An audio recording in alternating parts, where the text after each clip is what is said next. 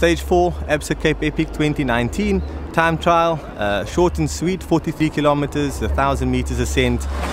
It's going to be a fast one.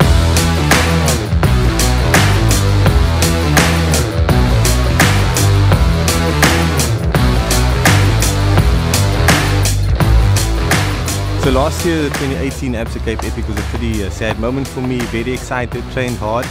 Months of training. Unfortunately, I suffered some hydration issues after stage one and was withdrawn because of kidney failure. Damage and issues with the kidneys are high risk in doing multi-stage events. Nate, for example, was admitted to hospital in the middle of last year's event with some serious kidney issues. His symptoms were really bad, his clinical signs were bad, he needed aggressive intravenous treatment. He spent a few days in hospital and made a full recovery. It's going to be a good one.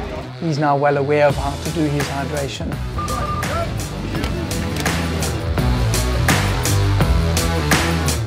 Uh, the most critical factor is be prepared and certainly know your body before you start an event like this. We're all infatuated with training, with hours on the bike. This is fun! but your hydration and nutrition are equally important, if not more so.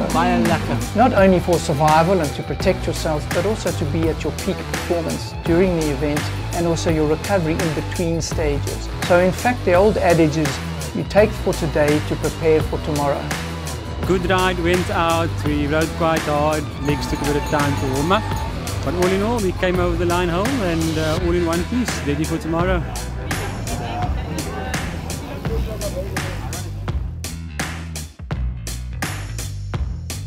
Woo!